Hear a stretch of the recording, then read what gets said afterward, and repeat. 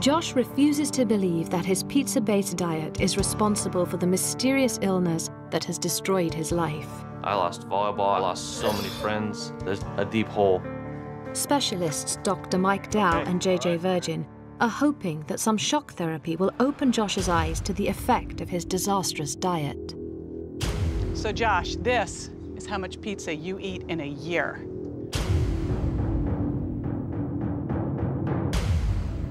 Wow. 469 boxes. You look shocked.